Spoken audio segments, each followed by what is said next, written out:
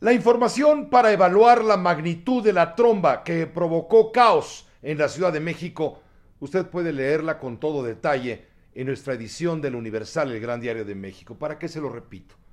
Mejor vamos a tratar de explicar la causa.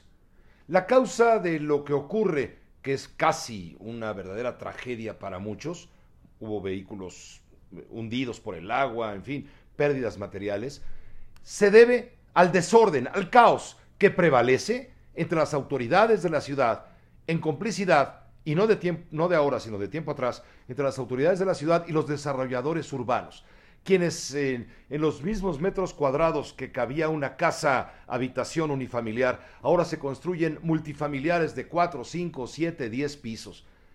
Pero no se cambian los tubos del drenaje de las cañerías.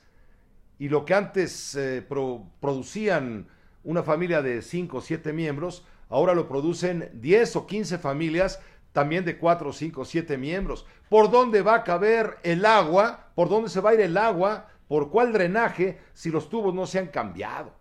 Esa es la realidad. Además, claro, los vicios y costumbres de tirar la basura en la ciudad que asolvan justamente este endeble drenaje. Esas son las causas del caos que ahora estamos narrando para usted en la capital de la República Mexicana, tan frágil a muchos eh, acontecimientos como la contaminación, los temblores y demás, pero sobre todo por la lluvia en esta temporada de ciclones, de huracanes, de trombas y de tormentas.